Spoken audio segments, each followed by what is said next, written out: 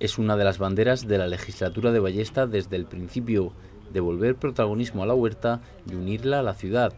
Son 200.000 metros cuadrados de transformación de la antigua vía ferroviaria en Los Dolores, Beniaján, San José y Los Ramos. Ese gran sueño que tenemos, que hemos llamado Conexión Sur, por el cual vamos a volver a centralizar y a reforzar todas estas pedanías de la zona sur del municipio de Murcia.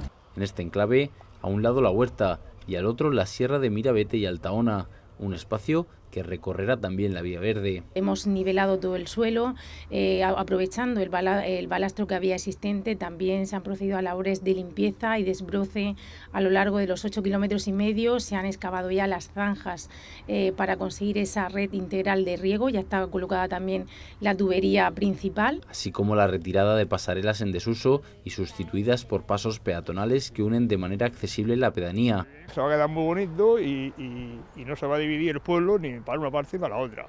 Porque el que vive abajo puede pasar y el que vive arriba también puede pasar. Me parece bastante bien, pero espero que lo terminen pronto. Una iniciativa muy buena del Ayuntamiento de Murcia para tener, para salir a andar, para con los críos, a correr. Está previsto que las obras terminen en primavera, pero ya en este mes de noviembre podremos ver plantados 1.800 nuevos árboles y arbustos, un pulmón en construcción que además de unir montaña, huerta y ciudad, unirá personas